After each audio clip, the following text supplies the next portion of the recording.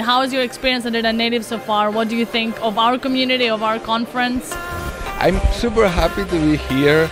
It's amazing. One thing, the first thing I noticed when I came in is that it's full of people. It's really, really, really full of data scientists. I think it was already a very lively conference four years ago, but now, you know, it's a lot bigger, it seems a lot broader and more known. It's really fun. I highly recommend it to everyone who wants to learn more about data science. People are very chill.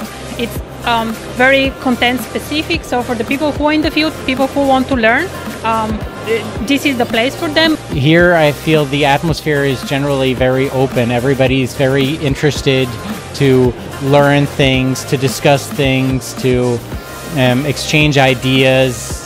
Everybody that I've spoken to here has been amazing. Uh, not just the speakers, but the attendees. Um, it's been a really, it's been really awesome to see the community and, and see everyone come together. Personally, just uh, can't wait to see what happens between now and next year. Berlin will just continue to go from strength to strength.